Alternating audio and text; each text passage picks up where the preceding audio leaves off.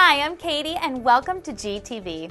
Today I will be showing you the EBM Papst centrifugal blowers. These centrifugal blowers are AC dual inlet with forward curved blades and a scroll housing structure. This series here is a D2E097 series that has a nominal height and width of 97 millimeters and operates at 230 volts AC. When activated, the blower rotates clockwise as seen from the inlet opposite the cable exit and is insulation Class B. They feature low noise level and have a relatively small airflow of 106 cubic feet per minute with a high increase in static pressure and space saving application. The housing and impellers are made of galvanized sheet steel. The rotor is partially cast in aluminum. The design has a standard external rotor motor that is press fitted onto the rotor via brackets on the side.